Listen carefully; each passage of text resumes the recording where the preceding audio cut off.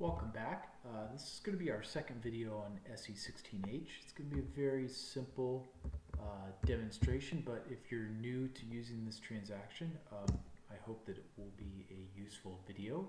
What we're going to show in this video is how to use the total column and then how to use the sort column and the sort type, which is probably pretty self-explanatory, but we'll show it anyway.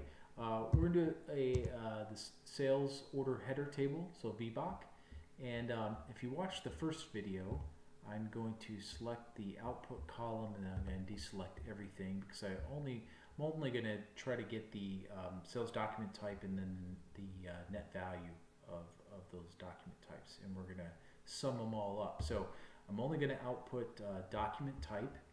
I'm going to page down here and you'll see any of the rows where you're allowed to do a total, you're going to see a little checkbox there. So here's the net, here's the net value row, and uh, we're going to say that we want to output that, but we also want a total of it.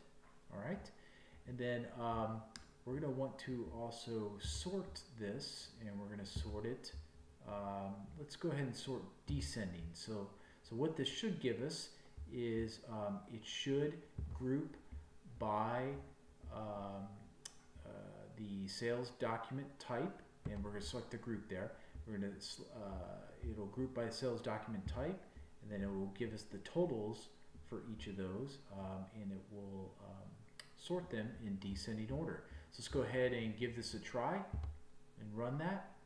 And there, there you go. So we've got all the order types that are available in the table and it is sorting them by the net value um, so I can I can see those values all the way down to the smallest values. And that is how you use the uh, total column and the uh, sort columns uh, for uh, in SE16H so again very simple video um, but I'm hoping again that this was useful if this is your first time using SE16H thanks a lot and we'll do some more videos coming up that are a little more advanced